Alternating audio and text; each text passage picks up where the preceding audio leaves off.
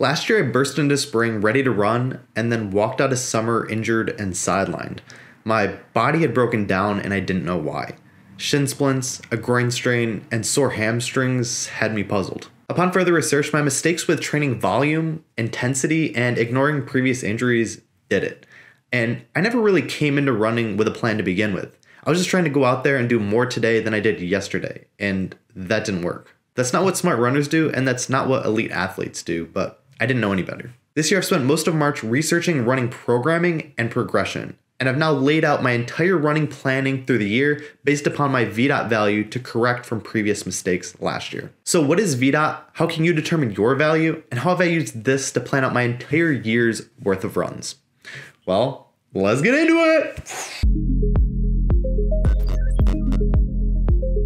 Jack Daniels, who wrote the Daniels running formula, created the VDOT running program. And he defines VDOT as your estimated VO2 max while taking into consideration running economy and oxygen utilization. Simply put, VDOT is your current level of running fitness. The higher your VDOT, the fitter you are. But it also is used to determine your running pacing or training intensity throughout the program. To determine your VDOT, Daniels recommends using a recent race performance, and preferably a race that's closely aligned with what your running goals are.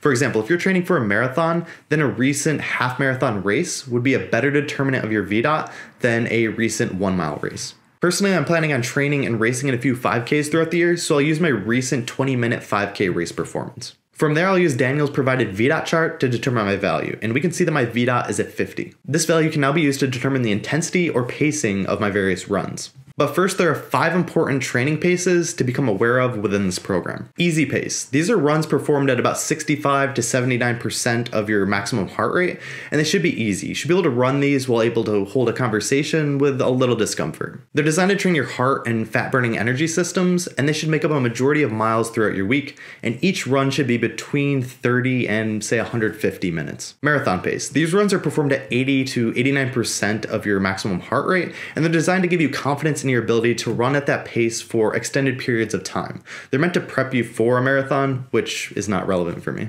Threshold pace. These runs are performed at 88 to 92% of your maximum heart rate, and they are tougher. You will be slightly winded afterwards. They're designed to improve your lactate clearance and improve your endurance, and they should be performed for a maximum of about 20 minutes and have a 5 to 1 work to rest ratio. Interval pace. These are runs performed at near maximum heart rate, and they're designed to increase your VO2 max. And so you're only going to be performing these runs for a maximum of 5 minutes and utilizing a 1 to 1 work to rest ratio. And last, we have repeat pace. These are near sprints designed to improve your speed, power, and running economy. Most repeats are performed in under two minutes and utilize a one to two to three work to rest ratio, and they make up the least of your training plan. So now that I know my VDOT value of 50 and I understand the various training paces, I can now use another chart that Daniels provides to determine my exact training paces. With a VDOT value of 50, I can see that my easy run should be performed at about an 814 minute mile, and then my threshold runs at a 415 per kilometer pace, and so on. And this has been a blessing for me when trying to determine run intensity. Because previously, last year when I was coming into issues, I never knew how hard to be running my hard runs. I never knew how easy to run my easy runs. I was always questioning what I was doing, and now I at least have a structured plan to follow. And lastly, I picked one of Daniel's running plans to begin my work. Daniels offers four different running plans for beginners, intermediates, advanced, and elites. Each one of these four plans has four different phases to it phase one, two, three, four. And each one of these phases has four weeks of training.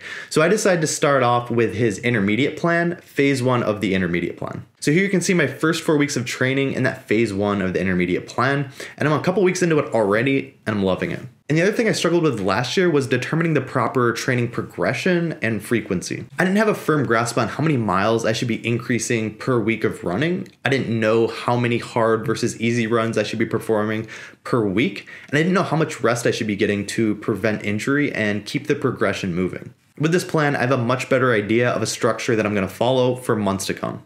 I should note that I am using day two and day six of this plan for cross training. I recently got a rowing machine back in February, and I'll put a post on it soon, but yeah, that's pretty cool. So, day two and day six, I'll just perform 30 minutes of easy rowing. And then on day four, I do run and I repeat the day one workout as suggested. So with those changes in mind, here's what my schedule's been like for the past two weeks and the upcoming two weeks to finish out phase one of the intermediate plan. So here are my final thoughts. I can't tell you how excited I am to have a structured running plan to go off of that allows me to progress safely, but also with a focus on increasing performance. And barring any injury or unforeseen circumstances, I don't see why I can't complete all four phases of the intermediate plan by, say, the end of July, and then move on to the advanced plan after that. I have three 5K races that I'm planning on doing in May, July, and October. So I'll use that to gauge my progress and update my VDOT value, which will then update my training paces along the way. I have no idea what I'll be able to accomplish this year in the 5K, but I know I'm starting out at about 20 minutes, and I think it's possible to be below 18 minutes by the end of the year but we'll just have to see. Not only have I revamped my running routine this year, but I've also increased my lifting volume. I've updated my stretching routine and then I've added breath work to it as well. So, a lot of things coming, a lot that I'm excited to share with you guys. I'm just doing whatever I can to drop this 5K time, and I am just excited about it. Can't wait. Thanks for stopping by, and I'm hoping I'll be here again next week. I also have a weekly newsletter that has the three most important things that I've read, watched, or listened to within the past week.